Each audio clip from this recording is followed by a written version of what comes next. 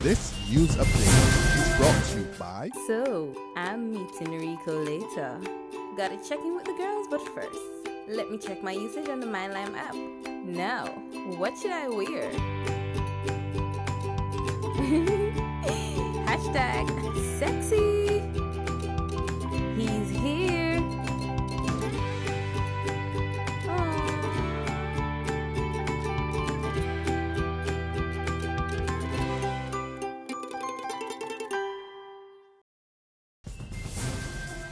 Welcome to the Barbados Today Afternoon Update for Monday, June 1st. I'm Fernella Wedderburn. Thanks for joining us.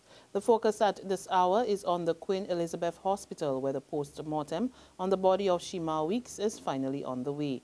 A Jamaica-based forensic pathologist is conducting today's process, which was halted on May 18, about an hour and a half into the procedure. Our Emmanuel Joseph is on location and has the latest. I can tell you that the forensic pathologist arrived here at the QEH uh, at around 11.20 this morning, and he was uh, driven here by uh, a plainclothes police officer in an unmarked vehicle. He was also met by two other plainclothes officers in another unmarked vehicle. About 10 minutes earlier, the family of uh, Weekes also arrived and went into the mortuary. It is difficult to determine really how long this autopsy will take, but suffice it to say that this should mean closure for the family, and they can now push ahead with arrangements for the funeral of their little loved one. From the QEH mortuary for Barbados Today, Emmanuel Joseph reporting. Meantime, a St. Peter family of four is homeless following an early morning fire. The family lost all their possessions in the blaze, which occurred around 8 a.m. in Boscobel. Our Davandra Babb is on the scene and has a report. The uninsured three-bedroom timber and wall structure, occupied by Peter Devonish, his wife Sandra, and their two sons Jaco and Zico, was burned to the ground. None of their possessions was saved. None of the occupants were at home at the time of the blaze, which started just after 8 a.m. Sandra, who is asthmatic, was at the bus stop just a short distance away from the house, was rushed to seek medical attention after learning that her house was on fire. She has since been released and tells Barbados Today she is feeling better physically, but is still in shock and pondering the next move for her and her family. Davandra Babb reporting for Barbados Today. A slight revision to this year's hurricane season, Met officials at the Miami-based National Hurricane Center are now predicting that the Atlantic season, which officially got on the way today, will see eight named storms. Three of those are expected to develop into hurricanes, and one of those will be major. But again, disaster and Met officials are appealing to the public not to become complacent because of the below par forecast. This would involve obtaining basic emergency supplies, carrying out any necessary repairs to property, and listening to forecasts on a regular basis as issued by the Barbados Meteorological Services. Now the main climate factor expected to suppress the hurricane activity this year is the El Nino, which is now present and is expected to last through the hurricane season. Many models predict the El Nino to further intensify as the season progresses. The current El Nino is already affecting the wind and rainfall patterns across the equatorial Pacific and is also expected to impact wind and rainfall patterns in the Atlantic hurricane main development region throughout the hurricane season. That was Deputy of the Barbados Met Service, Sonia Nurse, speaking at the Disaster Emergency Management Press Conference this morning.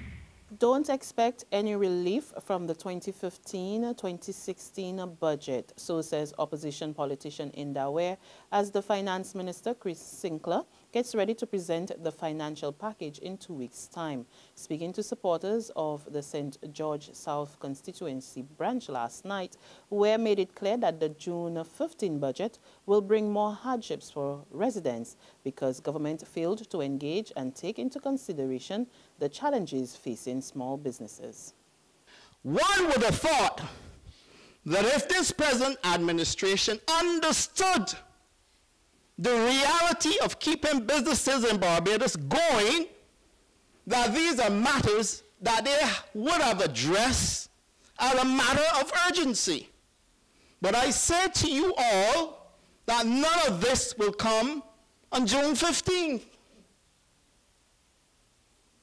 What will come instead will be greater and greater burden on the citizens of this country and the businesses of this country. That will happen. And you saw the article in last Sunday's paper where they're removing the duty-free concession on vehicles. Now let us hope that common sense will prevail there. But the government is trying desperately to scrape the ball and raping, raking every, I said rape, and I, that was a fraudulent slip, Wilfred. raking every cent that they can get. So they're asking you to carry their economic costs and they're hitting you everywhere. Meantime, as custom guards and officers strategize the way forward with their bargaining agent, the National Union of Public Workers, on the transfer to the Barbados Revenue Authority at Union headquarters today, an opposition senator is giving them his full backing on the decision not to make the move and stage a work to rule in protest.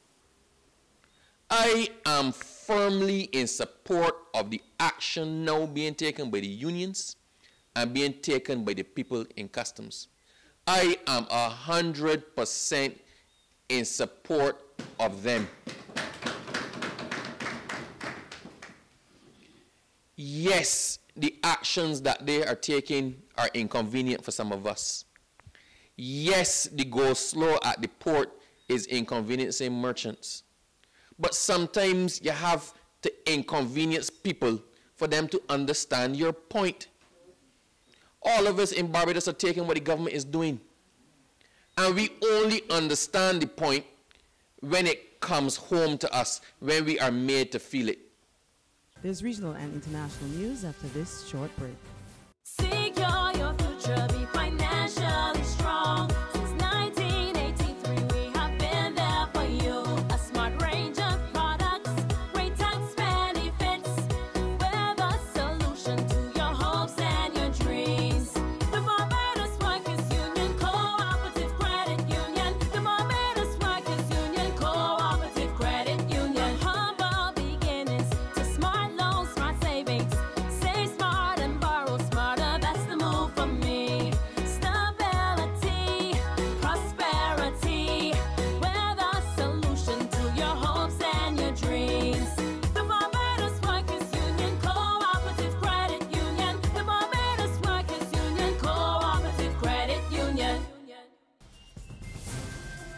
On the regional scene, disaster officials in Guyana are urging residents to take the necessary precautions as heavy rains continue to batter the country.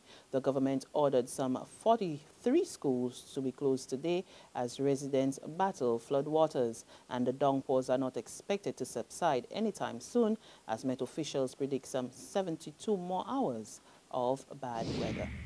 And finally, Iraqi officials are reporting that at least 34 of the country's police died earlier today and some 48 more were injured in an ISIS attack. More in this CNN report the north of where I'm standing here in Baghdad, very much the volatile front lines between ISIS and pro-government areas. And it just shows you the kind of firepower that ISIS have at their disposal. They can cause this much devastation, but still really not quite even get inside the base they were targeting. But at this stage, Carol, people are still asking a key question. We've learned some staggering new information today about how was it that ISIS were able to get into the main town that Iraqi forces want to fight back and recover now, Ramadi. The Speaker of Parliament. Now, he's the most senior Sunni politician in Iraq. Remember, Iraq divided between Sunni and Shia, he has told us that he believes that military or political officials, not clear who exactly, gave an order for the elite special forces who are defending Ramadi, they're US trained, the best of the best really here in Iraq, to pull out. And that was let what let ISIS move in and take the city. And on that note, we come toward the end of our afternoon update, but we'll be back again this evening. Until then, log on to www.barbadostoday.bb, subscribe to our e-paper, our email updates, and like us on Facebook. Facebook. You can also catch us on Izumi Media in bus terminals or screenplay at supermarkets and gas stations near you. We're also on Channel 101 online TV and Mix 96.9 FM. There you can get all the latest news and sports. I'm Fernella Wedderburn. To have a wonderful day. This news update is brought to you by So, I'm meeting Rico later. Gotta check in with the girls, but first, let me check my usage on the MyLime app. Now, what should I wear? Hashtag sexy.